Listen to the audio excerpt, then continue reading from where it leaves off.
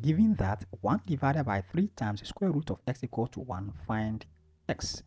Here we have 1 divided by 3 times square root of x equal to 1. So if we multiply each side by 3,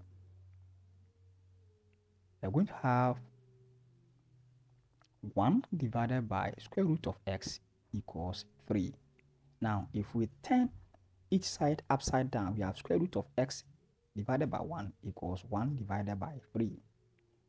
And if we square each side,